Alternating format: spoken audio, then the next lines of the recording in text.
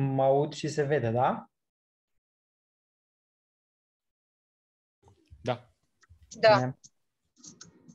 Um, o să prezint neuropatiile optice inflamatorii împreună cu Ioana Damaschin și colegii mei Zac și Ioana Manea o să prezinte neuropatiile optice uh, ischemice. Aceasta ar fi o primă clasificare a neuropatiilor optice în funcție de etiologie și, cum am spus, o să ne uh, axăm astăzi doar pe cele inflamatorii și cele ischemice. Uh, ce ar trebui să reținem uh, inițial ar fi niște definiții uh, și anume faptul că nevrita optică retrobulbară înseamnă inflamația nervului optic fără să avem modificări uh, la fundul de ochi al discului optic și papilita este inflamația nervului optic cu modificări uh, la nivelul fundului, op, uh, fundului de ochi uh, cu un discret edem. Alte definiții ar fi definiția nevritei optice acute demielinizantă, care înseamnă inflamația nervului optic, uh, fie ea nevrită optică retrobulbară sau papilită, uh, la care se asociază demielinizarea fibrelor nervului optic și uh, neuroretinitele, care reprezintă tot inflamații ale discului optic, dar se asociază cu exudat retinian adiacent, nu cu demielinizare. Și în principal o să vorbesc despre nevrita optică demelinizantă acută, uh, pentru că aceasta este cea mai frecvent întâlnită. Are o incidență de 3-5 uh, cazuri la 100.000 de locuitori pe an, cu vârsta medie de apariție între 20 și 50 de ani. Sexul feminin este mai afectat, rasa albă este mai afectată. Uh, este probabil ca majoritatea cazurilor monosimptomatice de nevrită optică demielinizantă acută să reprezinte de fapt manifestarea inițială a sclerozei multiple, aceasta fiind uh, cauza principală a nevritei. Ca și simptome, uh, există două mari simptome, uh, pierderea vederii și durerea oculară. Pierderea vederii care apare acut este progresivă și durează ore zile. Uh, dacă persistă peste o săptămână sau dacă nu revine uh, vederea în cel mult patru săptămâni, uh, măcar un grad de vedere, fie el redus, atunci ar trebui să ne gândim la o altă etiologie a nevritei optice. Și în cele mai multe din cazuri, pierderea vederii este monoculară, dar există și cazuri cu afectarea ambilor ochi, ă, acestea fiind mai frecvent întâlnite la copii. Cel de-al doilea simptom ar fi durerea, care este ușoară, care este localizată ocular, dar și periocular. Apare fie înainte, fie în același timp cu pierderea vederii și durează câteva zile. Și un lucru important în legătură cu durerea ar fi faptul că ă, se agravează la mișcările globului ocular, dar nu este un element definitoriu, și doar ne ajută să diferențiem etiologia, adică o cauză inflamatorie de una ischemică, spre exemplu unde nu apare durere la motilitatea globului ocular. La examenul clinic uh, punem în evidență disfuncția nervului optic și severitatea variază, există grade ușoare de uh, afectare, Uh, până la pierderea severă a acuității centrale. Uh, aceste forme severe apar mai frecvent la copii. Avem afectat câmpul vizual cu uh, afectare difuză sau locală, cel mai frecvent sub formă de scotoame. În unele cazuri au fost raportate și defecte altitudinale, Acestea, aceste defecte altitudinale înseamnă pierdere focală de câmp vizual superior sau inferior de meridianul orizontal, dar nu sunt specifice pentru nevrita optică de mielinizantă acută. Ă, apar mai, ar trebui luate în calcul în diagnosticul neuropatiilor optice ischemice mai mult. În studiile recente s-a utilizat uh, ca și uh, metodă de examen clinic acuitatea vizuală la contrast scăzut, care în cazurile de nevită optică a fost scăzută. De asemenea, avem și tulburării pupilare, putem avea prezent uh, un uh, defect pupilar aferent relativ. Uh, cel mai frecvent apare în cazurile unilaterale, iar atunci când nu este prezent, ar trebui să ne gândim la o neuropatie optică preexistentă sau să suspicionăm o neuropatie optică și în ochiul opus. Iar la discul optic, în cele mai multe cazuri, cum am spus la început, este normal și vorbim despre nevrită optică retrobulbară sau avem edem și vorbim despre papilite, edemul fiind mai frecvent întâlnit la copii.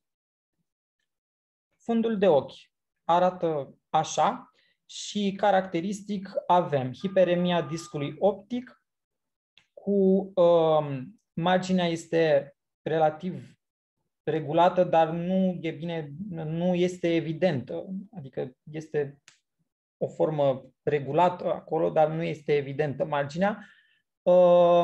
Este... Poți să spui că conturul este flu sau estompat. Așa, nu poți să dai seama exact când se termină discul. Ok. Um, discul optic este elevat, am spus. În unele cazuri poate să apară și hemoragie uh, în discul optic, dar uh, acestea nu sunt specifice pentru uh, nevritele optice demilinizante acute și edem al stratului fibrelor nervoase. Nu știu cum se poate vizualiza asta. Cred, cred că aici. Pe OCT nu poți să dai seama pe poză de fund de ochi. M-am gândit că pe OCT, dar aici era trecut la manifestări clinice poți să-ți dai seama de um, un semn indirect al um, edemului sau al ischemiei din RNFL prin încetinirea fluxului axoplasmic, care dă un semn clinic evident la poza de FO, care este exudatul moale. Lucrul ăsta, um, cotton wool spotul sau orice filet alb care se vede, de exemplu, în poza ta din dreapta mai bine. Aș putea să-ți desenez dacă permiți da. toate zonele astea albe de aici, care nu fac parte din desenul optic normal, reprezintă edem și încetinirea fluxului axoplasmic în axonul celulei ganglionare care formează RNFLU.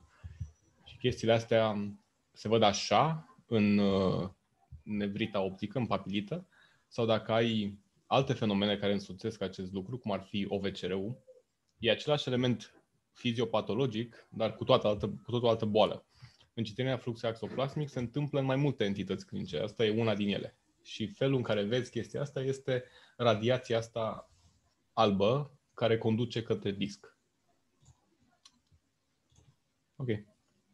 Bine, mulțumesc. O să continui cu diagnosticul nevritelor optice demielinizante, uh, care se bazează pe un istoric bine stabilit și pe semnele clinice și simptomele menționate anterior, dar există și metode imagistice și uh, IRM-ul cerebral și orbital, analiza lichidului cefalorahidian și studii serologice care ar fi utilizate în cazurile atipice ca să determinăm cauza uh, inflamației, dar și în cazurile tipice monosimptomatice de nevrită optică pentru a determina prognosticul și uh, riscul de dezvoltare de scleroză multiplă. Uh, în cazul în care suspicionăm o nevrită optică, se face totuși un IRM cerebral și orbital, pentru, uh, se face cu uh, substanță de contrast IRM-ul cerebral și orbital, cu gadolinium, Uh, pentru a confirma diagnosticul de nevrită optică, dar și pentru uh, diagnosticarea sclerozei multiple sau pentru a încadra pacientul într-o categorie de risc crescut de dezvoltare ulterioară de scleroză multiplă. O altă investigație imagistică ar fi OCT-ul, care însă în faza acută este nemodificat. Uh, modificările apar la distanță de câteva luni de la debutul simptomelor și const constau, constau în îngroșarea RNFL-ului peste 75 de micrometri, cum se observă și în poza asta, pe care o să o fac mai mare. Aici, în diagrama aceasta se observă. O să fac un comentariu, că e o mică da. interacție. În nevrita optică anterioară, care poate să apară în scleroză multiplă, deși cel mai frecvent apare posterioară, adică norbul, retrobulbară, În nevrita optică anterioară apare, bineînțeles, modificarea pe OCT. Ca din nou spuneai că avem edem al papilei, care bineînțeles se vede pe OCT, așa cum ai arătat în poza asta. Deci este mai degrabă un fenomen acut al nevritei optice anterioare. Dacă ai posterioară, nu o să se modifice OCT-ul acut și probabil nici în cronic dacă, dacă nu se lasă cu atrofie optică. Deci lucrul e mai... Aveai pe slide-ul anterior scris lucrul ăsta. Da. Voiam să menționez treaba asta. Ai, aici. Era, trecuse și exact cel anterior. Că spuneai că OCT-ul nu este modificat în norm, bineînțeles, OCT-ul nu este modificat. Um, dar în uh, nevrită optică anterioară este modificat și în faza acută. Bineînțeles că este că vezi edemul discului. Poate nu este, depinde la care OCT te referi, că poți să faci OCT macular cu vizualizarea fibrelor uh, ganglionare și atunci în faza acută într-adevăr nu se modifică și atunci pe fază tardivă, când apare atrofia optică, se va modifica și OCT-ul în straturile interne, în IPL, CGL și poate și mă rog, RNFL. Și mai Probabil să... vreau să mă refer că nu este specific în faza acută OCT-ul și... Cu siguranță nu, nu e specific. Arată, îți arată niște modificări cu, cu, care se pretează pe tabloul clinic. Și vreau să mai să fac un, o mențiune că frecvent la primul atac, pe grupa asta de vârstă, femei tinere, IRM-ul cu substanțe de contrast este nemodificat. Se întâmplă mai des decât se întâmplă să fie modificat, iar în următorii 5 ani poți să vezi um, modificările pe IRM. Adică, de, și un lucru de spus, ce vezi pe IRM trebuie să fie demielinizare paraventriculară. De Dawson's Fingers se numește chestia asta și trebuie să fie așa. Orice altceva nu este cert. Um, uh, modificările pe IRM pentru a diagnostica SM trebuie să fie astea, altceva, alte demielinizări difuze în altă parte, nu sunt neapărat patognomonice pentru SM și nu-ți poți susține diagnosticul. Ce vreau să zic este că dacă ai, de exemplu, faci o gardă, îți vine un, un pacient care, pe care îl suspectezi de nord, ies modificări de câmp, nu vezi nimic și trimiți la IRM și ți este negativ, nu înseamnă că este infirmat diagnosticul de SM, ci înseamnă că încă n-ai criterii și că probabil va face și că va trebui să o urmărești.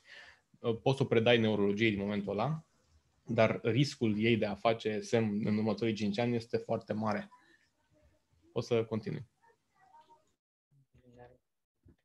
Uh, aici am avut niște poze cu IRM-ul orbital și cerebral, unde se poate observa inflamația nervului optic, aici, și plăcile de scleroză cerebrale.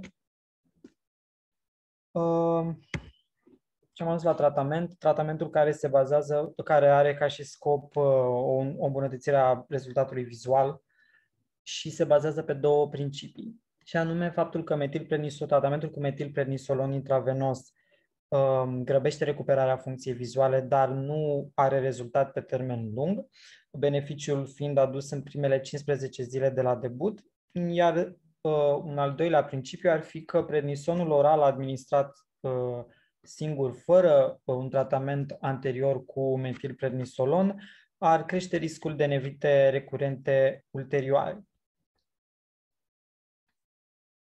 ar trebui să se dozeze serologic conform Ianov Acvaporina 4, care dacă este prezentă la pacienți, uh, tratamentul acut cu metilprednisolon se face în doze mai mari și beneficiul este pe termen mai lung.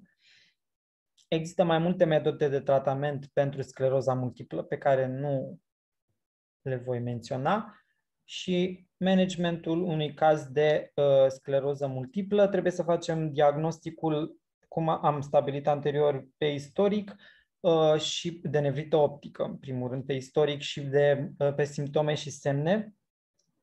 Și în cazul de nevrită optice demielinizante monosimptomatice acute, se efectuează IRM-ul cerebral, pentru a determina riscul de uh, dezvoltare de scleroză multiplă, dacă pacientul nu este diagnosticat deja cu scleroză multiplă. Iar leziunile caracteristice sunt pe IRM-ul cerebral, leziuni de 3 mm sau mai mari în diametru, care sunt ovoidale și cu localizare periventriculară în substanța albă cu dispoziție radiară spre spațiile ventriculare. În cazul în care IRM-ul cerebral este normal sau avem modificări anormale, care nu sunt clasice pentru scleroza multiplă, se fac teste în lichidul cefalorahidian.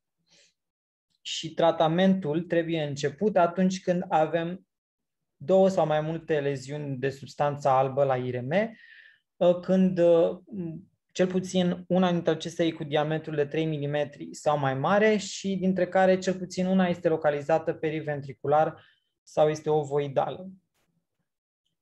Iar în faza acută, tratamentul intravenos se face cu metilprednisolon 1 gram pe zi 3 zile, urmat apoi cu prednison oral 1 mg pe kilogram corp pe zi, 11 zile și apoi se scade doza la aproximativ 4 zile. Este tratamentul eficient, nu se administrează prednison oral singur, cum am mai spus, și pentru a îndepărta durerea se face un ciclu scurt cu antiinflamatoare nesteroidiene. Și se așteaptă ca aproximativ la toți pacienții uh, cu nevrită optică acută de mielinizantă să se obțină o îmbunătățire vizuală, fie ea chiar și mică, mai ales la pacienții care uh, sunt tratați corespunzător, îmbunătățirea se face mai rapid, uh, dar și cei care nu sunt tratați deloc. Se așteaptă o îmbunătățire, o recuperare a vederii în uh, aproximativ 2-3 săptămâni. Uh, Însă, în ciuda recuperării uh, favorabile a vederii, uh, mai mulți pacienți care au avut nevită optică demielinizantă acută uh, pot prezenta tulburări uh, vizuale care să altereze funcționarea zilnică și calitatea vieții în continuare. Tulburări de vedere, de câmp vizual, uh, fundul de ochi poate să fie modificat, în continuare poate să persiste uh, modificările pupilare, și uh, tot pe parcursul recuperării vederii poate să apară sindromul UTOF, care este uh, în care pacienții uh, pot să experimenteze episoade tranzitorii grave de simptome neurologice care apar după expunerea la căldură. Și câteva date despre neuroretinite. Uh, cum am spus și la început. Să zic ceva? Da. Vreau să te supăr. Mm. Uh, aveai în slide-ul anterior dozarea da. anticorpilor antiacvaporină 4. Um, aia e o altă boală. E cu totul, recent s-a descoperit că este altă boală, este NMO, neurimilită optică și nu, este, nu e același lucru cu SM. Este, se, multă vreme s-a crezut că e o variantă de SM, acum e considerată spectrum disorder, nu e aceeași boală și are un prognostic mult diferit și tratament diferit. Adică NMO-ul, cea care se caracterizează de prezența acestor anticorpi, este o boală mult mai fatală decât SM-ul. Cu SM oamenii trăiesc destul de prost, dar mult de regulă. Și um, dacă găsești anticorpii, atunci diagnosticul se orientează către NMOSD, adică Neuromyelitis Optica Spectrum Disorders, și neurologia face altceva cu pacienții decât ar face cu cei cu SM.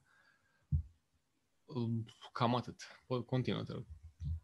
Uh, mai am doar un slide mic despre neuroretinite pe care o să le prezinte oricum și Ioana. Uh, ce înseamnă neuroretinitele? Am spus și la început că sunt uh, uh, inflamația nervului optic și uh, la care se asociază semnele retiniene, în special maculare, la, iar ca și simptome avem la fel tulburări vizuale care sunt tot unilaterale, dar uh, care nu se asociază cu durere de data aceasta. Uh, ca și semne clinice, acuitatea vizuală este afectată. La fundul de ochi putem observa uh, modificări ale nervului optic cu papilite, cu edem peripapilar și macular, aspect de stea maculară, vene tortuoase și hemoragii nașchie. Și am găsit două poze cu aspectul de stea maculară și aspect de papilită, de edem papilar. Cam atât. Dacă mai sunt întrebări? Nu vreau să te supăr, nu mai zic nimic. nu, e, e foarte nu corect. Vreau să... poate să menționez de ce apare steaua maculară, că bănesc că în Ianov nu scrie ce se întâmplă fiziopatologic și de ce... În Ianov, partea pe care am avut-o eu nu scria absolut deloc, am găsit în Kansky și, adică am luat din Kansky și nu scria de ce. Uh, sunt două boli care au chestia asta. Neuropatia optică ereditară, Leber, nu? Bă, poate, eu nu știu. O să vorbesc eu mai multe despre asta. Ok, bine. Nu... Dacă vă ajută cu ceva. Atunci. Adică poți să zici, dar o să vorbesc. Asta intra mai mult la mine decât okay, la Două boli. Neuroretinitate, ce ai avut tu aici, care are steaua maculară cam la 2-3 zile după debut și hipertensiunea malignă gradul 4 cu edem papilar. Poate mai sunt și alte boli, eu pe asta le știu, le-am așa băgate în minte. Când vezi treaba asta, când vezi steaua, te gândești la astea două. Uh, ce le diferențiază foarte ușor și foarte repede este că hipertensiunea malignă este bilaterală întotdeauna, întotdeauna. Pacientul trebuie să aibă modificările la ambii ochi. Pe când neuroretinita poate fi bilaterală, dar este anecdotică treaba asta. E mult mai normal să fie la un singur ochi odată. Și amândouă arată clinic cam la fel. Steam în afară de vase care sunt afectate în hipertensiunea malignă, dacă e să excluzi aspectul vaselor, retina și nervul arată la fel în bolile astea. Bun, și neuroretinita cu cauzele pe care o să discute Ioana și voiam să poate, dacă spune ea, spune ea, așa că nu mai continui eu. Nu, po- poți po- să zici, mă supăr. În care strat apare steaua maculară, ce reprezintă striațiile și dacă dispar sau nu cu timpul, abordezi chestiile astea? Pe, pe jumate, da. Bine, atunci abordează-le. Bine. Pot să opresc, da? Da, sigur. Cred că Bine, da. Ivana, preia tu. Pop, pop.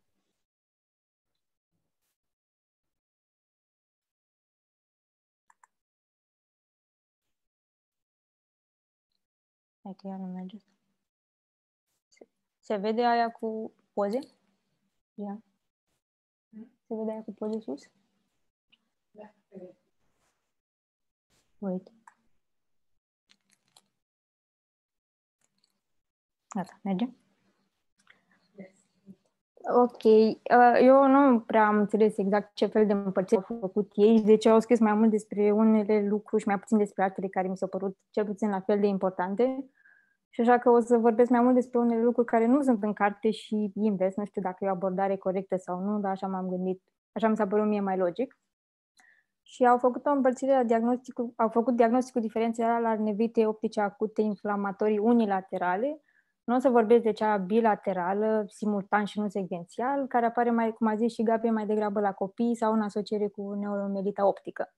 Um, dacă vreți să căutați o, căuta, o clasificare foarte simplă a neuropatiei optice, ca să fim pe aceeași lungime de undă, uh, o să găsiți ceva care arată cam așa, pe care a făcut-o și Gabi, dar ca să fac o împărțire care să se suprapună cu ce e scris în Ianov, am făcut alt tip de împărțire. Am împărțit neuropatia optică în, în neuropatia optică inflamatorie și non-inflamatorie.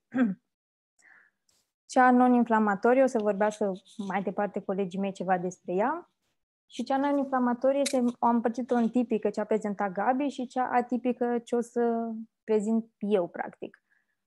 Cea atipică am împărțit-o mai departe în infecțios și autoimun și mai e o categorie parainfecțios, dar intră tot în categoria autoimun sau imun, depinde unde citești.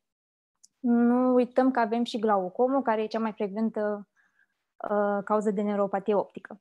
Dacă ai vreun dubiu dacă e neuropatie optică sau nu, poți să faci un test, un RAPD, care trebuie să fie prezent dacă boala e unilaterală. Nu o să vorbesc despre afectare bilaterală, că probabil s-a prezentat în alte prezentări.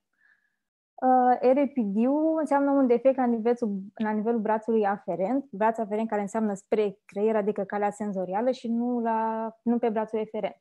Relativ înseamnă relativitatea față de ochiul congener, adică practic tu compari cei doi ochi. Uh, poza din dreapta mi se pare foarte sugestivă. Cele ganglionare din retină compun nerv optic, trec prin chiasmă, prin tractul optic și înainte să ajungă la uh, ganglionul genicular lateral, unele fibre se duc și fac sinapsă în nucleul pretectal ipsilateral, apoi se duc la um, interneuronii care conectează practic cei doi nuclei Edinger-Westphal bilateral. Și de acolo începe brațul eferent, se duc cu nervul 3, diviziunea inferioară și așa mai departe. Uh, poți să vezi dacă ai o leziune pe acest rai comparând cei doi ochi, adică ai o reacție directă la ochi în care pui lumina și pentru că nucleul pretectal inervează ambii nuclei Edinger-Westphal, adică sunt interconectați, atunci tu o să ai un răspuns consensual la ochiul congener. Dacă nu ai un uh, RAPD, atunci ori nu ai un defect deloc, ori ai un defect care nu e pe calea asta pupilară, ori nu e pe brațul aferent, pe brațul eferent, ori nu e relativ comparat cu celălalt ochi. Și asta e foarte, foarte util, că de obicei neuropatia optică e doar până la nivelul nucleului pretectat. De fapt, cred că până la nivelul chiasmii sau ceva. Hai că nu mai merge. Diagnosticul de nevrită optică îl pui atunci când ai scădere de acuitate vizuală cu RAPD pozitiv și aspect normal sau modificat al nervului optic, fără să poți să găsești o altă cauză oculară. În mod normal nu există edem al nervului optic și dacă e, e destul de slab reprezentat, adică o treime din cazurile la adulți au edem și două treimi la copii, la copii altă poveste. Uh, poate să aibă niște hem pe acolo, dar dacă vine cu un edem foarte mare, cu un edem florid, așa, ar trebui să te gândești la alte diagnostice. Și la fel ar trebui să te gândești la alte diagnostice dacă nu există durere, că foarte mulți, adică majoritatea dintre ei se plâng de durere la mișcarea globului ocular. Uh, nervul optic, o să vă zic doar despre edemul nervul optic și nu despre atrofii și așa mai departe. Edemul... Ana, de ce există durere la mișcare? Pe care ai inflamație acolo în spate. Ok. Nu?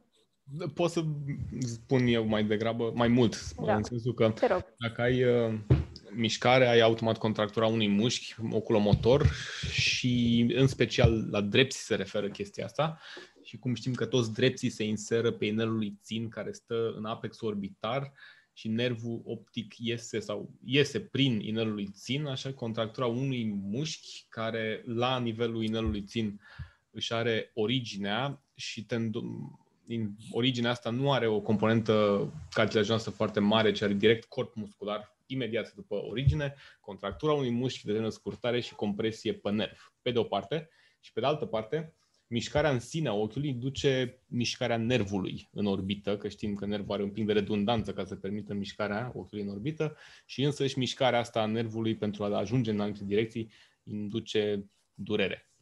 Deci două mecanisme. Super tare, mersi mult. Atât? Atâta pot, da. Ok. ok. Uh, stai, ce vreau să zic? Ok, uh, dacă ai totuși edem cu scădere de acuitate și ce v-am zis mai devreme, te gândești la ambele diagnostice, atât la nevită optică cât și la un noia. Uh, am, ca tablou clinic, ele seamănă foarte mult între ele cu scădere de acuitate vizuală bruscă, progresivă, cu defect pupilar aferent, discromatopsie și așa mai departe, dar ce le diferențiază în mod tipic, la noi ai o vârstă mult mai, pacientul, pacientul e mult mai în vârstă, peste 50 de ani, are alți factori de risc, alte comorbidități, nu are durere la mișcarea globului ocular uh, și poate să aibă și alte simptome sau semne asociate. Nu o să intru în detalii, că o să fie colegii mei mai departe cu prezentarea asta e o, eu am, Gabi a pus altă poză, eu am pus poza asta, mi s-a părut, mai, mi s-a părut pentru mine, a fost sugestivă de nevită optică, că nu vezi mai nimic. Eu n-am văzut mai nimic, după care am înțeles că ai valoare în temporal. Spre deosebire de edemul ăsta din noia arteritică, care e mai pufos așa, și edemul ăsta mai roșu din noia non-arteritică. Și la fel o să vorbească colegii mei mai departe despre asta. Dacă totuși ai un aspect normal al nervului optic, te ajută să întrebi pe pacient, dacă te poți înțelege cu el, când a început să-i scadă vederea și de cât timp s-a agravat. Bine, eu de, eu de obicei o să zic că nu mai văd de ieri și au de fapt o cataractă matură de 5 ani de zile, dar asta zic, dacă poți să te înțelegi cu el. Într-o nevrită optică, de obicei vederea scare cam în 1-2 săptămâni, adică nu de pe azi pe mâine, dar nici în decurs de câteva luni. Dacă scade în decurs de câteva luni, te gândești la o cauză compresivă, uh, nu știu, tot felul de tumori la lobul frontal, la ripodesfenoi și așa mai departe. Mă întorc un pic la clasificare, ca să fim pe aceeași lungime de undă. În nevrita, ă, neuropatia atipică inflamatorie poate să îmbrace mai multe aspecte, adică poate să arate mai multe feluri. Poți să ai doar inflamație la nivelul nervului optic și să ai o papilită, poți să ai o neuroretinită, o atrofie optică sau un norb, adică să nu vezi nimic. O să insist un pic doar asupra neuroretinitei, care înseamnă neuro, ai ceva la nerv și retinită, adică ai ceva la retină, și asta se traduce prin edem al nervului optic și stea maculară, adică exudate maculare. Dar edemul nervului optic trebuie să ducă la stea maculară, nu trebuie să fie două entități separate. Principalul mecanism e inflamația nervului optic și creșterea permeabilității vaselor papilare, care duc la leakage progresiv, cred, adică cred că asta e exprimarea corectă, de la nervul optic către maculă. Poți să demonstrezi asta dacă faci un angiofluo. Și ca un fun fact mie mi s-a părut foarte interesant, era un studiu care zicea că leakage-ul e dintr-o singură arteriolă și nu e difuz de la nivelul nervului cum aș fi gândit eu că e. E destul de important asta pentru că trebuie să știi că de acolo începe. Adică primul semn o să fie demon de la nerv și apoi semnele din maculă o să apară în câteva zile sau o săptămână. Asta e o poză foarte, foarte clasică uh, de neuroretinită, edem cu stea maculară. Sunt o grămadă de cauze, majoritatea sunt de tip infecțios, majoritatea sunt unilaterale. Uh, fluidul se duce de la nerv, merge prin statul plexiform extern, în statul fibrohenle, și ajunge la nivelul macului. Uh, nu poza asta vreau să vă arăt, asta vreau să vă arăt. Asta mi s-a părut o poză, poză foarte drăguță. Dacă luăm practic ziua 1, în care edemul e la nivelul nervului, vezi lichidul care începe să meargă spre maculă și mai departe asta e o poză după două săptămâni când deja e o rezoluție acolo. Și vedeți toate, toate exudatele alea în statul plexiform extern. Sunt niște punctulețe, dar nu merge mie mouse-ul. Nu știu, poate vrea Valentin să arate. O să le arăt eu. Da, te rog.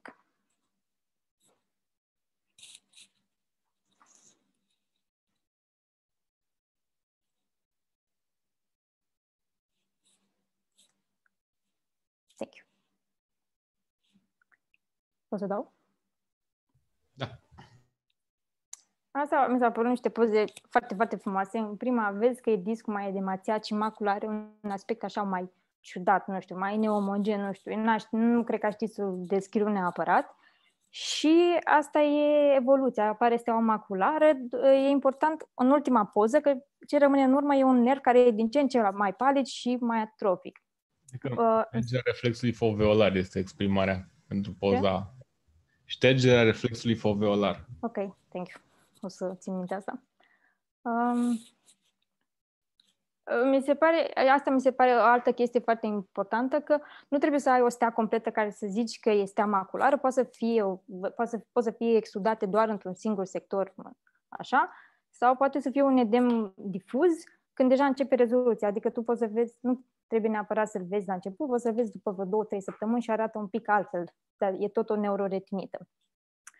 Principala cauză de neuroretinită e Bartonella, catch scratch disease.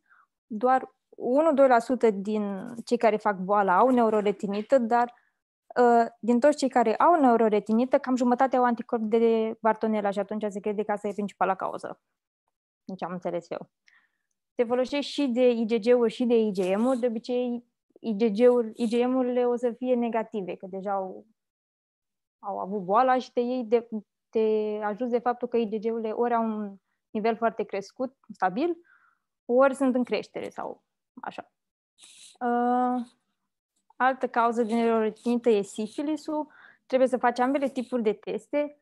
Cum le-am reținut eu, cele treponemice au un T în ele, asta am învățat din facultate, și cele non-treponemice sunt restul. Uh, cele non-treponemice, titlul se corelează cu boala, dau, dau frecvent reacții fals pozitive. Cele treponemice, uh, problema cu ele e că rămân pozitive și după tratament. De exemplu, dacă ai un VDRL pozitiv și un FTA pozitiv, boala e activă și tratezi sau trimis la un infecționist și tratează. Dacă VDRL-ul e pozitiv și uh, treponemicul e negativ, atunci ai un fals pozitiv, că treponemicul e mai specific. Dacă ai un test un FTA pozitiv și un vedere negativ, atunci ori vine el și îți arată o dovadă că s-a tratat de sifilis, ori îl tratezi ca și cum ar fi o infecție și îl trimis mai departe. Uh, diagnosticul diferențial cu nevitele optice tipice, mai la cele clasice, e faptul că de obicei ai și o vitrită, adică nu o să vezi foarte bine la fundul de ochi. Uh, asta nu am apucat să o verific, dar eu din ce țin minte când învățam eu, e că sifilisul dă frecvent uh, pozitivarea testului, boala Lyme, uh, dă un, un test, un rezultat fals pozitiv al bolii Lyme.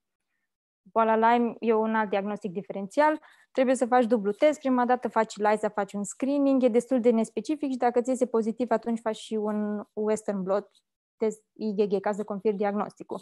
Uh, părerea mea e nu dați să facă boală Lyme, că sunt destul de puține cazuri descrise doar cu neuropatie optică și să aibă boală Lyme și atât, adică doar neuropatie optică, de obicei ia și alte lucruri.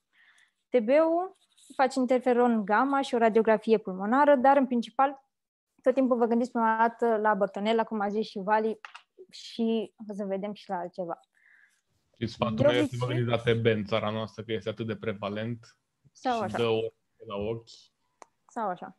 Uh, neuroretinitele de obicei sunt unilaterale. Dacă, în schimb, vezi că ai bilateral, atunci, uh, părerea mea, eu, adică eu i-aș face o, o imagistică ceva, că de obicei edemul papilar din hipertensiunea intracraniană poate să mimeze o neuroretinită și e și o tensiune că poate să fie o hipertensiune malignă. Dar cum a zis Valia, astea sunt uh, de fapt priman. Nu contează. Mai sunt și alte lucruri care pot să mimeze o neuroretinită. Uh, ocluzia de ram venos central și noi o să vorbească colegii mei. Asta e doar o poză tipică de hipertensiune arterială malignă.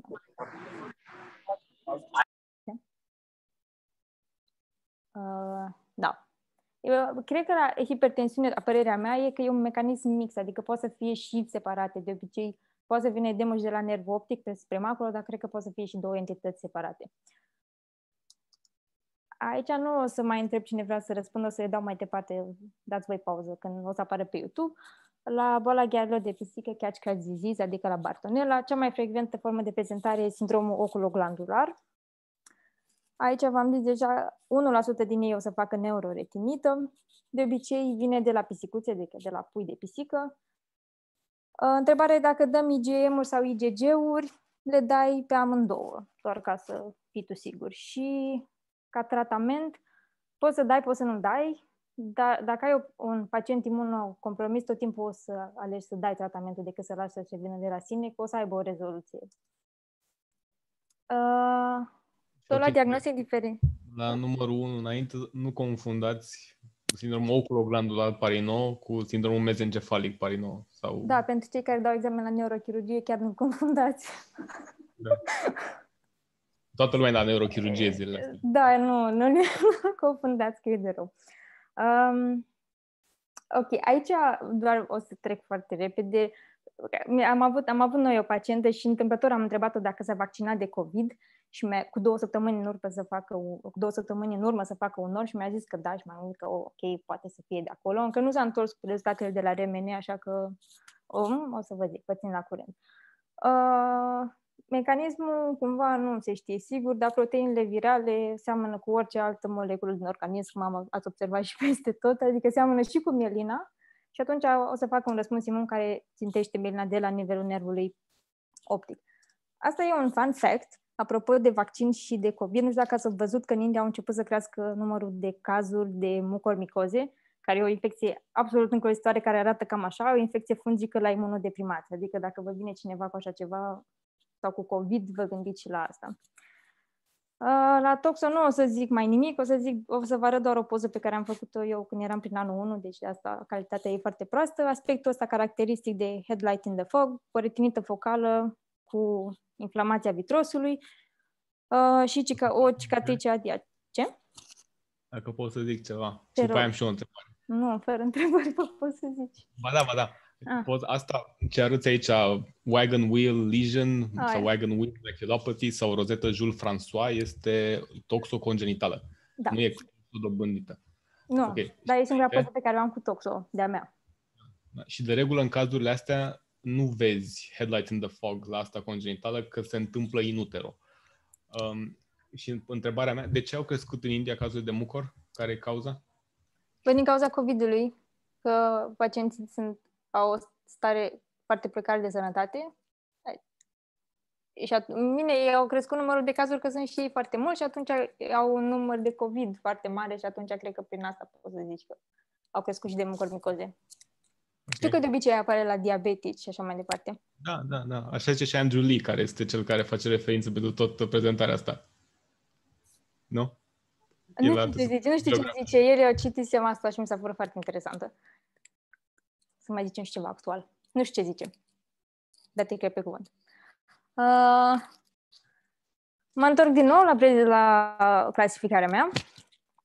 Uh, mai știu ce vreau zic. Uh, uh, da, aia atipică, am împărțit-o în infecțioase, am, am vorbit despre mai multe uh, cauze infecțioase, mai sunt și astea autoimune. Nu o să intru în ele, că e destul de stufos.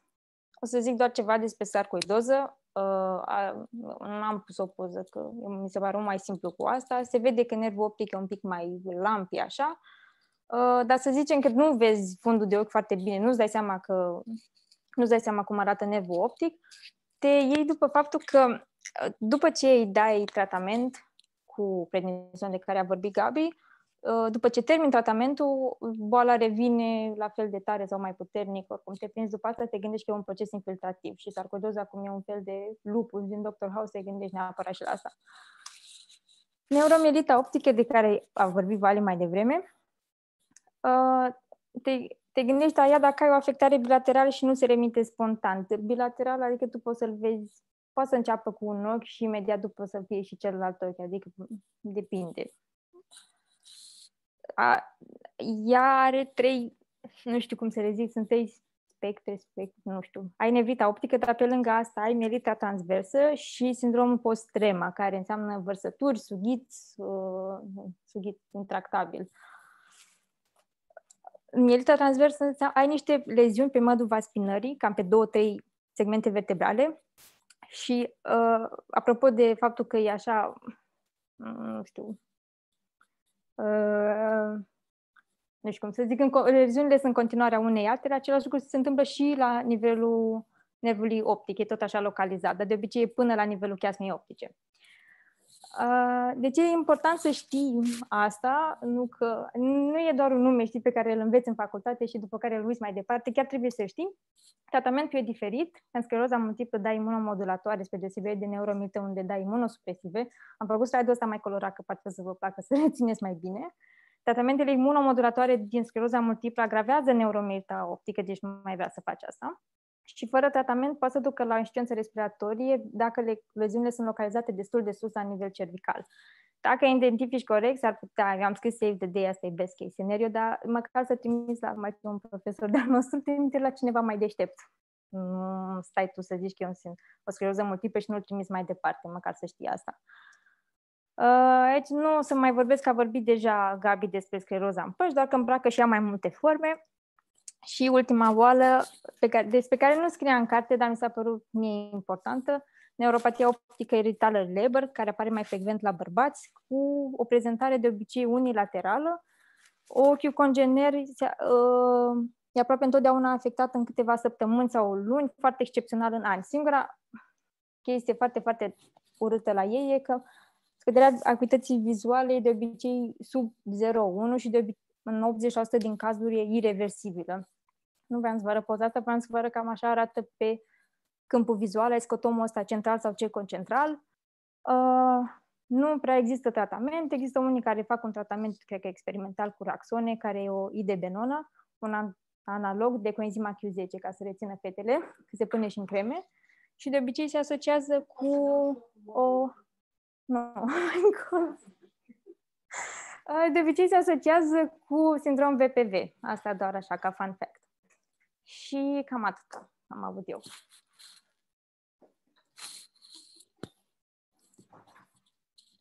Mă mai aud? Okay. Am terminat.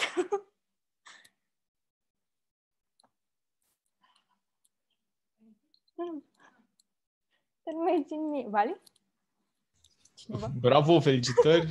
Poți să închid? Ai prezentat Iată. super, nu ai citit nimic de pe slide. Așa, da, mai, nu știu. Nu, vreau să zic dacă mai are cineva ceva de zis sau poate să continue, dragii mei colegi, pe care îi iubesc foarte mult. Uh, Vali, dacă poți să ne spui mecanismul prin care apare steluța maculară. A menționat Ioana.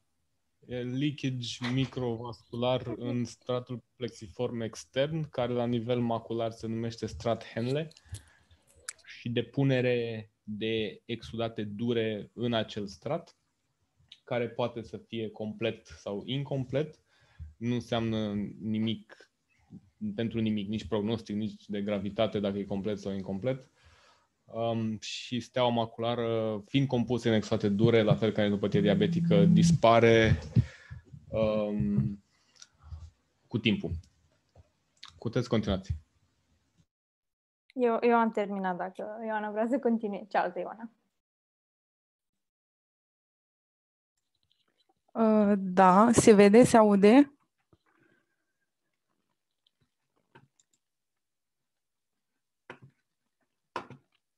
Ok. Um, deci mă auziți? Da. Ok, mersi. Așa, Scuze, o, să mă vorbesc duc. despre, o să vorbesc despre neuropatia optică ischemică anterioară arteritică. Um, mai întâi, până să ajungem acolo, o să dau o mică definiție a neuropatiei optice ischemice. Este practic o ischemie acută de nerv optic, este nedureroasă, cum au zis și colegii mei, și apare la pacienți susceptibili cu vârste peste 50 de ani, în medie cam 70 de ani. Uh, Ca o clasificare scurtă, așa, se clasifică în uh, anterioară și e cea mai frecventă, afectează capul nervului optic. Um, În neuropatia optică ischemică posterioară și afectează porțiunea intraorbitală a nervului. Iar fiecare mai departe se clasifică în forma arteritică, ce se asociază cel mai frecvent cu arterita cu celule gigantice sau temporală Horton și forma non-arteritică, uh, formă mai frecventă dintre cele două. Ca și caracteristici ale neuropatiei optice ischemice, um, în cea anterioară um, avem o scădere bruscă de vedere, cu discromatopsie și defect pupilar aferent, cu defecte de câmp vizual altitudinal sau un pattern uh, de afectare al discului optic. Avem un edem de disc optic, uh, fără semne de demielinizare. În uh, forma posterioară, discul optic este apare normal. În uh, noi arteritică apare și paloare și toate aceste semne pot, uh, se pot asocia cu peripapilar, hemoragii în flacără și arteriole de calibru îngustat. Uh, Noia are un debut rapid, cu pierdere acută de vedere, nedureroasă, unilaterală de obicei, cu defect pupilar aferent. Scăderea acuității vizuale poate să fie de la minimă până la FPL. După cum am zis, uh, sunt și defecte de câmp vizual. La debut apare un edem de disc optic care ocazional precede pierderea vederii în săptămâni luni. Uh, cel mai frecvent afectează capul um, nervului optic. Practic, din punct de vedere fiziopatologic, la pacienții susceptibili um, sunt doi factori care contribuie la alterarea de perfuzie, um, de perf- mă rog, aglomerarea fibrelor nervoase și o scădere a aportului vascular. Se combină și rezultă o alterare a perfuziei uh, care atunci când ajunge la un grad critic produce practic ischemie și apoi um, cu toate semnele de fund de ochi um, pe care o să le prezint în continuare, cu edem de disc optic difuz, um, pot apărea, dar pot apărea și porțiuni, um, e, mă, porțiuni mai proeminente, pot asocia telangiectazii difuze sau focale, hemoragii în flacără și arteriole cu lumen îngustat, cum am zis și în celălalt slide. Așa. Ca și pattern de afectare a câmpului, uh, cele mai frecvente sunt cele bolduite. Aici uh, scotom paracentral, uh, scotom cecocentral aici, aici un scotom central, scotom marcuat, defecte altitudinale, defecte arcuate nazal și pete oarbe lărgite. Așa. Noi arteritică apare ca o manifestare vasculitică asociată arteritic cu celule gigante, necrotizantă. Aceasta afectează vase cu calibru mediu mare, în special arteria superficială temporală, arteria oftalmică ciliară posterioară și arteriile vertebrale proximale. Noia arteritică reprezintă cam 50% din cazurile de noia, vârsta medie de 70 de ani, femeile sunt afectate mai frecvent, reprezintă Cea mai frecventă cauză de pierdere a vederii la pacienții cu arterită temporală. Uh, poate fi precedată de amauroză fugace, pierderea tranzitorie a vederii, scăderea acuității vizuale este sub 0,1. Uh, la fundul de ochi apare o paloare severă a discului optic de culoare alb-cretă, ce poate asocia paloare peripapilară, um, ischemie coroidală și edem profund retinian. La angiografie apare o întârziere de umplere a discului optic uh, și a coroidei de 30-69 de secunde. Uh, după 1-2 luni, edemul se resorbe și apare o atrofie optică severă. Ochiul contralateral prezintă un diametru al discului optic normal. Dacă este implicat uh, ca aspect, o să avem un sindrom pseudo-Foster-Kennedy, adică atrofie optică la, unul, la un ochi și edem papilar la celălalt, fără, adică în lipsa unei cauze compresive. Ca alte manifestări, ocluzie de arteră cilioretiniană, cum se poate observa și în poză, aici, în zona asta. Um, ocluzie de arteră centrală retiniană, ocluzie um, de arteră ciliară posterioară cu hipoperfuzie coroidiană și o ocluzie de arteră oftalmică ce poate da un sindrom ischemic ocular.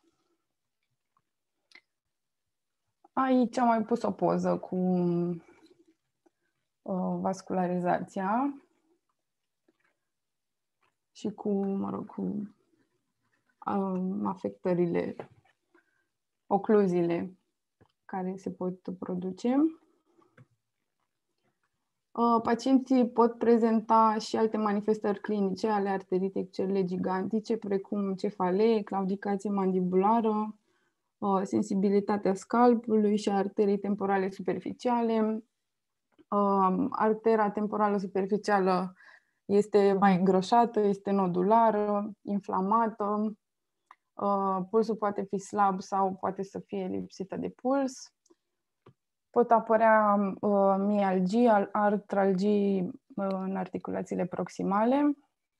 Uh, se poate asocia cu polimialgia reumatică, uh, dar pot apărea și uh, simptome sistemice, precum astenia, anorexie, febră și scădere ponderală.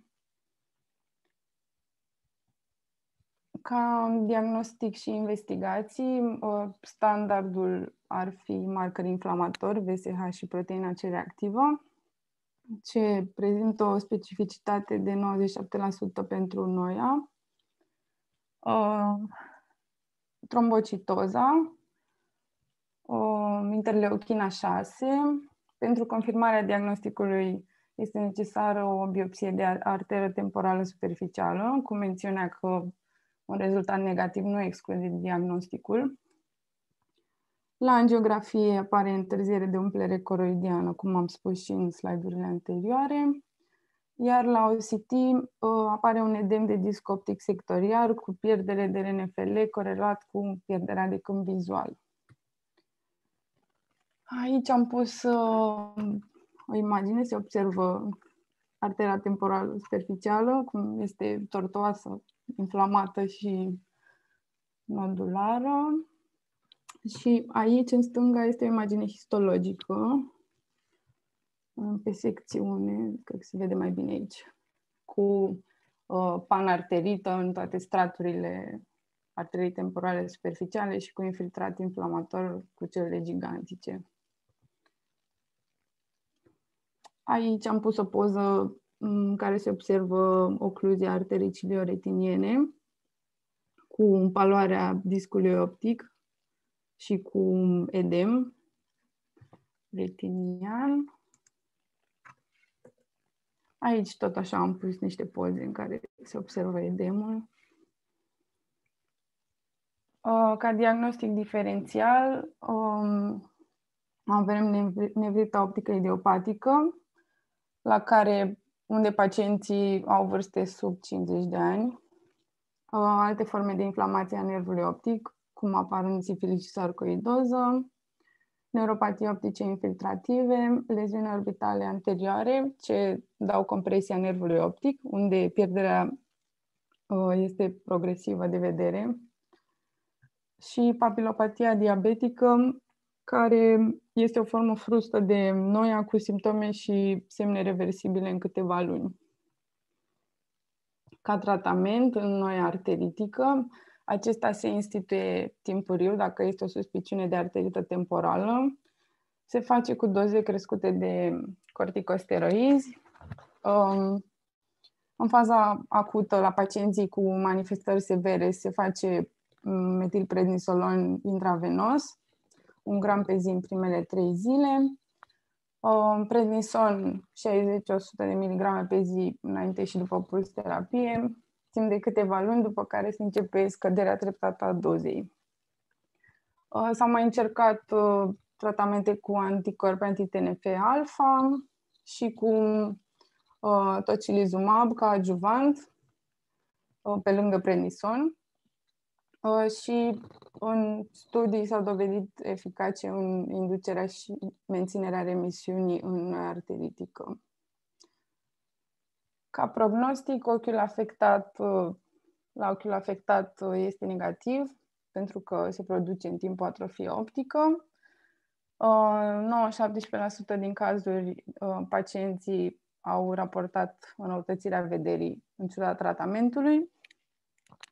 Practic, scopul tratamentului este prevenția afectării ochiului contralateral, care mă rog, această patologie, dacă e netratată, ochiul contralateral este afectat în decurs de patru luni, într-un procent foarte mare.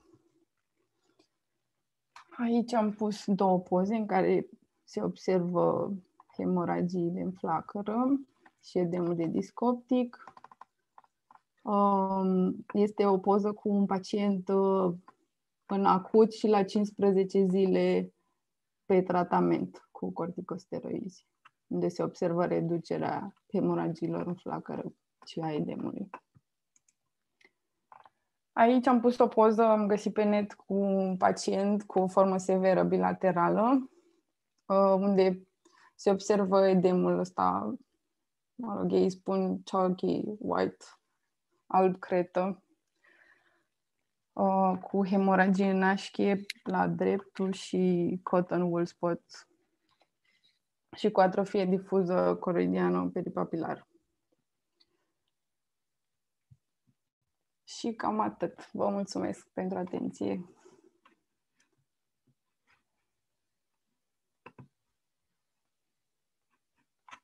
Și întrebări, completări, dacă aveți. O să fac eu niște chestii de-astea, aforisme legate de boala asta. N-am văzut niciodată până acum. E foarte, foarte, foarte rară, dar e genul ăla de patologie pe care nu trebuie să o scapi, că e foarte probabil ca tu, ca oftalmolog, să fii primul care o vede. Așa că trebuie să fii atent la chestiile care țin de simptomatologie clinică generală și să pui întrebările în anamneză care să-ți releve răspunsurile care să te orienteze către șansa ca acea neuropatie optică ischemică pe care o vezi să fie arteritică și nu non-arteritică non-arteritica este mult, mult mai frecventă, dar arteritica este mult mai gravă prin faptul că poate să orbească pacientul în ambii ochi. Și așa că e posibil să fii cel care salvează vederea pacientului dacă faci anamneza cum trebuie. De cel mai multe ori anamneza e cea care te orientează și îți ridică suspiciunea și după aceea poți trimite pacientul la biopsie de arteră temporală, pentru că nu o să trimiți toate nevritele optice ischemice la biopsie de arteră temporală. Cam asta e modul în care trebuie privită boala asta. Seamănă, sunt niște chestii în oftalmă și medicină în general care sunt diagnostice de neratat, dar ele sunt foarte rare, așa că practicând e foarte posibil să îți ieși din uz cu a le căuta, mai ales în sistemul nostru de sănătate care nu e foarte prietenos cu investigații de genul ăsta. Și deseori pentru pacient este dificil să ajungă la asemenea investigații. În sensul că dacă tu suspectezi un pacient a avea o noia arteritică, atunci eu, de exemplu, nu știu. Acum, dacă mă întrebați cum fac să trimit pacientul ăsta la biopsie de arteră temporală, trebuie să întreb niște colegi, nu am uzanța, pentru că e un lucru pe care nu-l fac uh, des și până acum n-am făcut deloc. Um, așa că ăsta e modul în care trebuie să priviți chestia asta. Similar este și cu acantamiba la cornee, un diagnostic pe care nu trebuie să-l ratezi, deși e foarte rar. Și mai sunt și alte lucruri, dar nu, nu vine ceva acum. Mai este cineva care trebuie să prezinte? Parcă? Da, mai este Zac. Exact. Bun.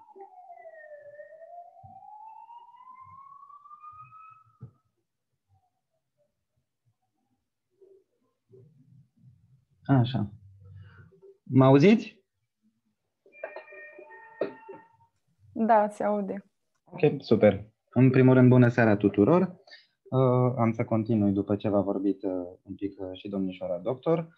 Eu am să vă vorbesc despre neuropatia ischemică anterioară, non-arteritică de data asta, așa cum a spus și domnul doctor Dinu, este mai uh, uh, prezentă decât cea non-arteritică. Uh, ea este o patologie optică ce apare de obicei la pacienții de peste 55 de ani. Nu merge o secundă, vă rog. Așa, gata, îmi cer scuze.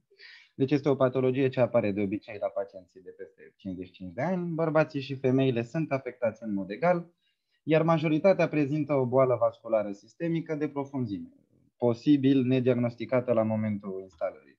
Iar prevalența acestui bol este de 3-10 persoane la 100.000 de locuitori. Acum, așa cum a prezentat Ioana uh, foarte bine, uh, am să fac o mică comparație între cea non-arteritică și cea arteritică diferențele principale fiind reprezentate de vârstă, de debut, uh, de sex, acuitate vizuală, aspectul discului, care în cazul lui uh, noia non-arteritică este preponderent hiperemic.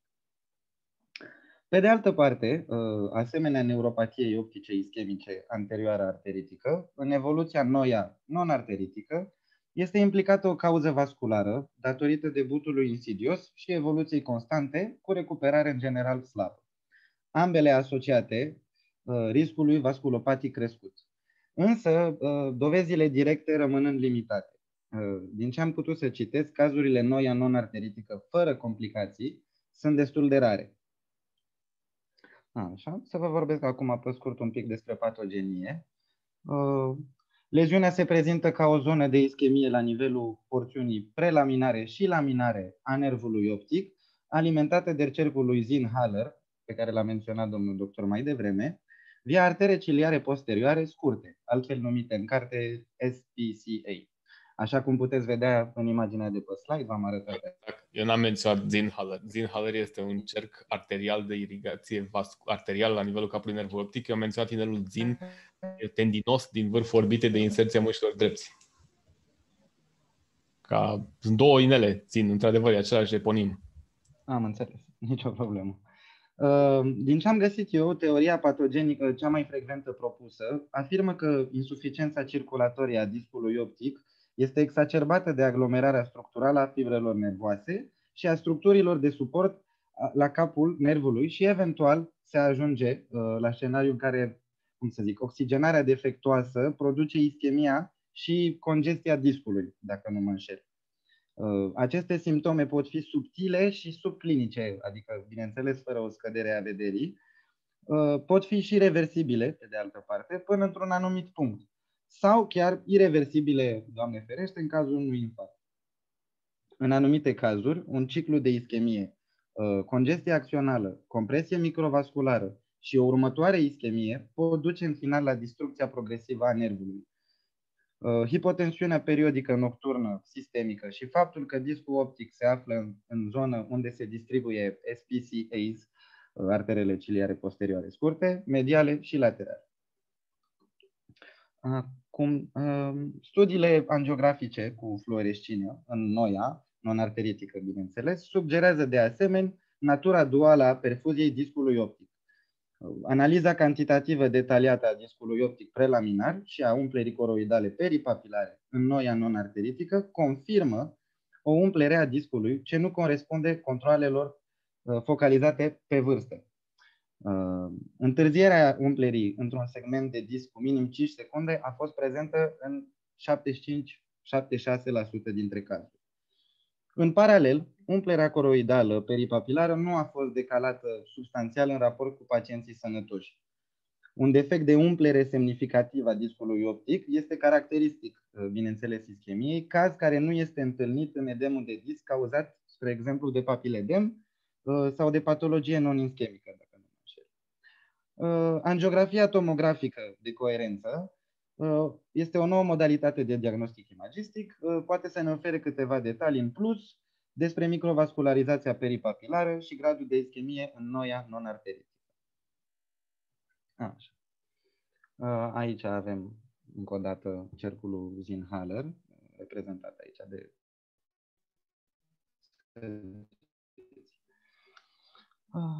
am să vă vorbesc un pic despre uh, manifestări. Uh, aici am cerut, cred că v-am pus imagine, poate vrea domnul doctor să adauge. Uh, angiografia tomografică de coerență optică. Uh, aici vedem faza acută a unui edem de disc optic. Așa. Dacă nu, voi continua cu manifestările. Uh, aici am pozele astea două. În prima poză avem angiografie cu fluorescină, așa cum vedeți, în faza incipientă a noia non-arteritic. Observăm umplerea normală a discului optic, reprezentată de săgețile mai înguste, dacă vedeți că sunt unele săgeți mai înguste, și putem de asemenea observa că porțiunile care au rămas prezintă întârziere în umplere. Sunt reprezentate de săgețile astea mai, mai late pe care le aveți aici. Scrie în Ianov că e aproximativ, sunt aproximativ 10 secunde întârziere. Așa. Iar în poza cealaltă, din dreapta, observăm o vedere a fundului de ochi în noia non-arteritică, tot așa. Edemul discului optic este mai proeminent superior, așa cum vedeți aici, iar teleangiectaziile focale de suprafață a vaselor discului sunt vizibile superotemporar aici, chiar aici. Așa. Bun. Am să trec acum la manifestări. Am să încerc să fiu un pic mai succint. Sper să nu vă plictisesc prea mult. În 90-95% dintre cazuri, noia non-arteritică nu are legătură cu arterita temporală, așa cum a explicat și colega mea, iar forma non-arteritică a bolii apare într-un grup mai tânăr, vârstă medie de 60 de ani, să zic, și este de obicei asociată cu o pierdere vizuală mai puțin severă. Uh, frecvent tulburările de vedere, precum pierderea acuității vizuale, variază de la 100% până la perceperea mișcării mâinii sau chiar mai rău în anumite cazuri, uh, care sunt raportate la trezile, trezire pardon, și se datorează probabil uh, hipotensiunii sistemice nocturne. Evoluția inițială a pierderii vizuale este stagnantă în timp, dar poate fi și progresivă, Forma progresivă a fost raportată în aproximativ 40% din cazurile de noia non-arteritică. De obicei, nu apar simptome sistemice asociate, totuși, durerea periorbitală este descrisă ocazional de către pacienți. Celălalt ochi poate fi afectat în proporție de 12-19% dintre cazuri până la 5 ani după debutul bolii. Episoadele recurente de pierdere a vederii care rezultă din noia non-arteritică în cadrul aceluiași, aceluiași ochi pardon, sunt foarte rare. Așa. Uh, așa. Aici. Edemul discului optic în noia non-arteritic poate fi difuz sau segmentar, hiperemic sau palid, dar paloarea apare mai frecvent în noia non-arteritică. O regiune focală afectată mai sever de congestie este des întâlnită și afișează o distribuție altitudinală, uh, când vizualul, câmpul vizual vă arată aici, de obicei defect altitudinal sau chiar arcoac, Uh, dar nu se colorează întotdeauna cu, corelează pardon, întotdeauna cu o pierdere a vederii în sectorul respectiv de disc. Uh, așa, vederea colorată oglindește de obicei acuitatea. Uh, discul de obicei, așa cum am mai spus, este hiperemic și pot apărea emoragii peripapilare în formă de Așa. Am să vă vorbesc acum de niște coordonate asociate uh, noia non-arteritică, care sunt următoarele. Hipotensiune, anemie, apnee de somn, hiperomocisteinemie, droguri de disfuncție erectilă și amiodarona. Să vă dau câteva detalii despre cele principale, pe scurt. În hipotensiunea fiziologică uh, asociată cu noia non-arteritică, pacienții, așa cum am mai spus, se trezesc de obicei dimineața cu pierdere de vedere, în anemie nechirurgicală, bineînțeles, asociată noia non-arteritic, putem spune că ea apare la pacienți cu epistaxis și pacientele cu sângerări uterine. Starea unor pacienți se îmbunătățește ca urmare a restaurării rapide a hematocritului. În SAS, în sindromul de apnee în somn, uh, există mulți pacienți cu noia non-arteritică care observă slăbirea vederii la trezirea datorită hipotensiunii arteriale uh, sistemice pe timpul nopții. Uh, sindromul apnei în somn este totuși prezent la 71 până 89% dintre pacienții cu noia non-arteritică. Să vă vorbesc un pic de hiperhomocisteinemie asociată cu noia non-arteritică. Uh, hiperhomocisteinemia este un factor puternic de risc pentru infarctul miocardic la pacienți mai tineri de 50 de ani. Se recomandă analiza serului de homocisteină la toți pacienții cu noia non-arteritic, în special, deci în special la pacienții tineri fără factor de risc aparenți și la pacienții mai în vârstă cu boală cardiacă. Dacă poți să întreb ceva? Da, vă rog. Unde în oftalmologie mai apare hiperhomocisteinemia ca factor de risc pentru ceva? Um... Se mai asociază cu ceva în oftalmologie care este o întrebare de examen de specialitate și va trebui să știi asta atunci. Nu acum, dar atunci. Uh, în hipertensiune malignă? Mm, nu. Este o cauză de subluxație, luxație de cristalin. Ah, subluxație, luxație de cristalin, am înțeles. Bine, nu știam. Uh, acum să vă vorbesc un pic de uh, coagulopatiile asociate cu noia non-arteritic. Așa, deci pacienții se prezintă cu factorul 8 crescut, uh, prezența anticorpilor antifosfolipidici și rezistență proteinei C activate. Uh, poate fi potrivită efectuarea evaluării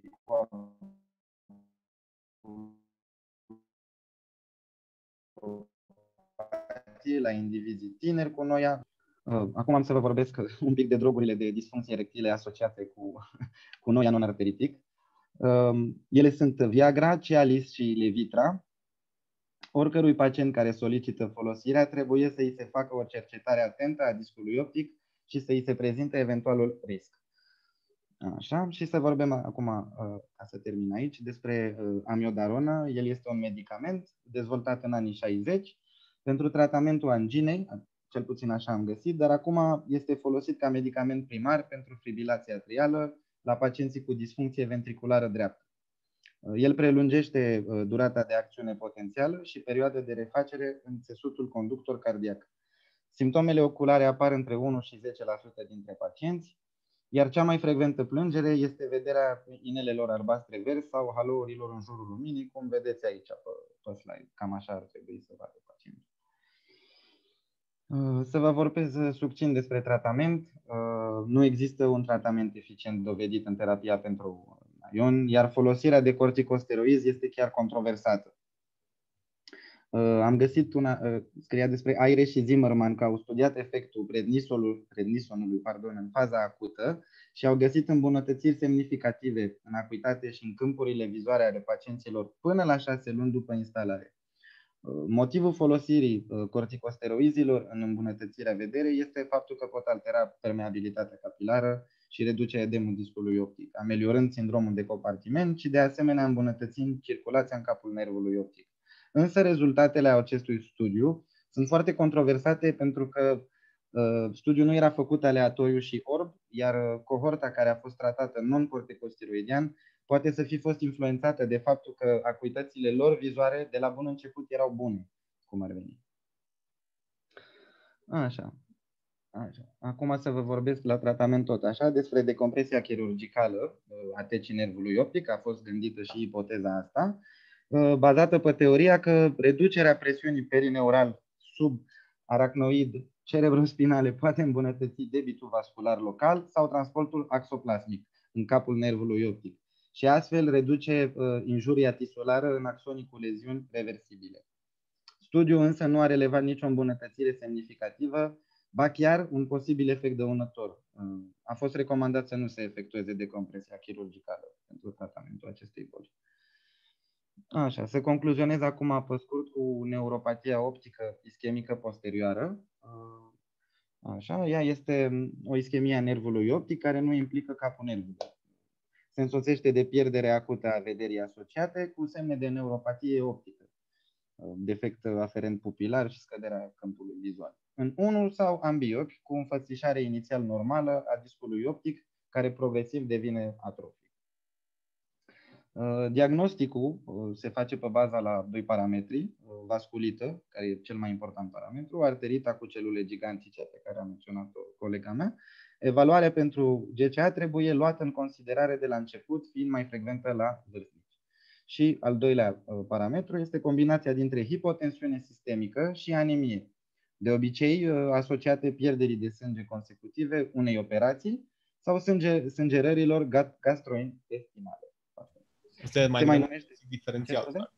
Un diagnostic diferențial ăsta, pentru că um, ai vorbești de o neuropatie optică ischemică non-arteritică și primul lucru pe care scrii pe slide aici este cea arteritică. Da, trebuie să-l diagnostichezi diferențial de cea arteritică, iar următorul punct de pe slide este o cauză pentru o neuropatie optică ischemică non-arteritică.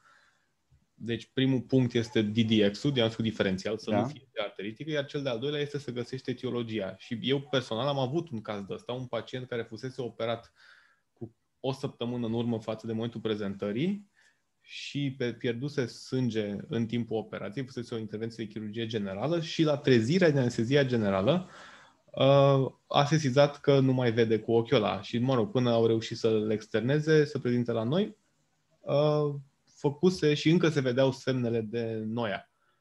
Pacientul ăsta în cauză nu și-a recăpătat vederea cam deloc. Da, asta, mă rog, e ceva anecdotic, nu contează pentru prezentarea asta. Continuăm. Am, am înțeles, dar vorbeam un pic despre diagnosticul diferențial, cum a spus și dumneavoastră, care include neuropatiile compresive, inflamatorii și infiltrativă, dar totuși debutul în neuropatia optică ischemică posterioară este mai abrupt. În majoritatea cazurilor, neuroimagistica este indicată pentru a diferenția aceste posibilități. Cel puțin așa am găsit. Uh, este important să recunoaștem această formă non-arteritică la pacienții cu neuropatie, neuropatie optică acută, dar fără edem al discului, un scenariu care poate fi ușor confundat cu nevrita optică, dacă nu mă înșel, nevrita optică retrobulbară, pardon. Acești pacienți, uh, în particular cei cu leziuni ischemice ale materiei albe, confirmate prin imagistică cu rezonanță magnetică, sunt introduși incorrect pe terapia imunomodulatoare pentru a reduce riscul sclerozei multiple. Uh, mecanismul fisiopatogen, fiziopatogenetic al neuropatiei optice ischemice posterioare poate include și o congestie a discului și reprezintă o formă particulară a noia non-arteritică. Și cred că cu asta am terminat. Poate mai vrea domnul doctor să mai adauge ceva. Ca atitudine generală, e recomandat la noi cu posibilitățile noastre de investigație și tratament să trimitem către neuro sau către specialitatea pe care o suspectăm, neuro sau neurochir, în funcție de ce vedem la FO. Uh-huh. În general, la FO să vedem o patologie a nervului, să reușim să o identificăm, asta e destul de important, să ne dăm seama uitându-te la disc dacă este ischemie sau este inflamație. Uneori e greu, dar uneori se poți să-ți dai seama să te uiți tot timpul la celălalt ochi, foarte, foarte important. Și înainte să dirați pacientul să nu uiți să faci un RAPD, adică testul Slinging Flashlight, Marcus Gun Pupil, uh, se uită frecvent chestia asta, mai ales în gardă, când vezi pacientul prima oară, fiind pe modul de repede înainte, chestia, testul ăsta este frecvent ignorat n-am ce să spun, dacă un pacient vine să se plânge de scădere de vedere pe un ochi sau pe ambii ochi și observați la optotip că într-adevăr există scădere de vedere, faceți și chestia asta. Întrebați din reflex dacă ce fel de scădere de vedere, de ce este însoțită, doare capul, există fenomene de fotopsie, apar blițuri, sunt multe lucruri care duc la scădere de vedere și în momentul când pacientul intră pe ușă, tu nu știi ce are. Poate are dezlipire, poate are o cataractă, cum spunea Ioana mai devreme, matură de 5 ani, acum și-a dat seama că ar fi bine să vină la medic. Uh, poate fi orice la început. Și punând întrebările astea alte, dacă se asociază cu fenomene neurologice, uh, încercați să puneți întrebările cât mai specific, nu general, uh, cum spunea și Dr. Andrew Lee în prezentările de pe YouTube, că dacă întrebi un om de peste 60 de ani, 70 de ani dacă are durere articulare, 99% să spună da că au durere articulare. Trebuie să pui întrebările care să te conducă către polimialgie reumatică, adică dacă are dificultăți în a se ridica de pe scaun sau dacă are dificultăți în a urca scările. Polimialgia reumatică afectează în principal articulațiile femurale și scapulare, adică cele proximale, nu neapărat cele distale. Cele distale sunt mai degrabă în boli reumatologice autoimune. Um, întrebați dacă există o percepție diferită a culorilor între ochi și chestia se poate face mult mai simplu decât un câmp vizual roșu-verde. Puteți, dacă aveți un pacient cu care puteți comunica, să-i arătați o culoare roșie. Există niște picături care au um, capacul roșu sau capacul verde, că roșu-verde este spectrul de culori care este cel mai frecvent afectat în neuropatii dobândite. Uh, acoperiți un ochi și îi spuneți, uitați, asta este culoarea roșie a capacului și după aia schimbați celălalt ochi. Este la fel de roșu și pe ochiul ăsta, aceeași nuanță, sau e mai șterg, sau este mai spre gri. Chestia asta se poate face relativ ușor. Sau un câmp vizual confrontațional, dacă e târziu și nu mai este nimeni la explorări funcționale care să facă un câmp vizual. Și ăsta e ușor de făcut. E chiar banal, l-am învățat tot în facultate. Ajută să te orienteze cu diagnosticul. Sigur, sunt și multe alte patologii care duc la modificarea câmpului chiar și dezlipirea de retină, dacă este superioară sau inferioară, sau orice, dar nu totală, o să aibă un deficit de câmp. Um, nu uitați de RAPD și uh, dacă observați o, patolo- o neuropatie, încercați să identificați cauza, uitați-vă neapărat dacă este și la celălalt ochi. Dacă este și la celălalt ochi, este o urgență neurochirurgicală, pentru că probabil este un edem papilar, care este de cea mai, cea mai multe ori o cauză de cauză de hipertensiune intracraniană, care de cel mai multe ori este o hemoragie, mai ales subarachnoidiană, mai ales dacă este însoțită de durere de cap. Uh, încercați să găsiți și semne de pareză ale mușchilor extraoculari. Pacientul se va plânge și de diplopie în situația aia. Chestia astea sunt destul de rare, dar sunt lucruri la care, pe care nu trebuie să le tratați. Um, și dacă este monolaterală și are hemoragii în flacără, are mm, edem al RNFL-ului, cum se vede chiar în pozele astea pe care le vedem acum, cea din stânga, atunci sunteți cu totul justificat să credeți că este o noia.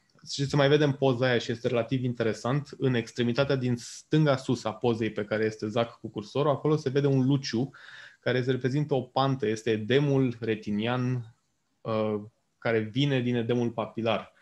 Edemul papilar creează un cort care ridică planul retinian și în jurul lui sunt pantele care duc înapoi la nivelul retinei. Chestiile astea dau, chestia asta dă uneori niște linii, care, niște striuri care pleacă din nervi, care se numesc linii Peyton și uh, poate să te ajute un pic în follow-up, să dai seama că există regresia liniilor Peyton într-un edem papilar. Poza pe care o arată Zac aici este destul de clar o nevrită optică ischemică, monolaterală ca și ea de obicei, Uh, partea proastă acum în dialogul cu pacientul este că trebuie să-i spui că nu există tratament, că n-ai ce să-i faci și trebuie doar să-i faci evaluarea factorilor de risc cardiovasculari. Mm, n-am ce să spun mai mult. Uh, eu am fost vinovat de a da și steroizi în situația asta, e controversată treaba, au, sunt discuții încă, nu există un RCT care să spună că e bine sau nu să dai steroizi în noia non-arteritică. Mulți consideră că neștiind, neavând cum să fii sigur că este non-arteritică, atunci poți da steroizi că poate e arteritică și așa ai scăpat de un stres. Aici, unde nu există consens, fiecare face ce vrea și sunteți voi la îndreptățiți să alegeți ce doriți să faceți. Cam asta este inputul meu pentru prezentarea asta. Mersi de participare. Am înțeles. Vă mulțumesc tuturor pentru atenție. Mulțumim, domn doctor Bine, pa, la revedere! La revedere! Pa, la revedere! La revedere, mulțumim!